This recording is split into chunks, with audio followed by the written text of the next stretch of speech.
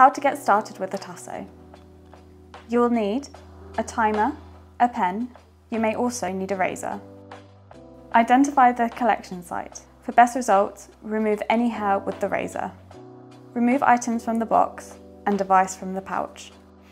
Remove the tube and twist off the cap. With the fill lines facing out, press the tube into the device until snug. Follow the heat pack instructions to activate. If the pack does not heat up, discard and use your hand instead.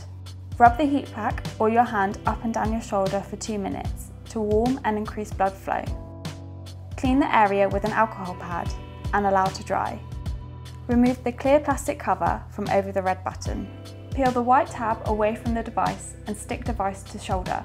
Hang your arm straight down at the side. Press the button all the way down. Wait for two seconds and release. One to two minutes may be needed for blood to appear. Allow the tube to fill for five minutes. Remove device if blood reaches top line before time is up by peeling it from one side. Stop bleeding with the supplied bandage. Remove the tube with a slight twist and pull downward. Snap the cap fully onto the tube. Apply tube label if provided.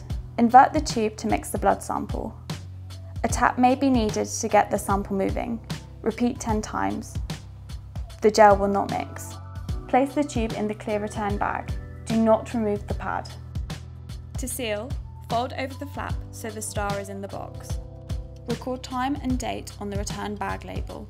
If using the kit box to return, remove all items and place return bag in the box. Peel the adhesive backer off the box and seal.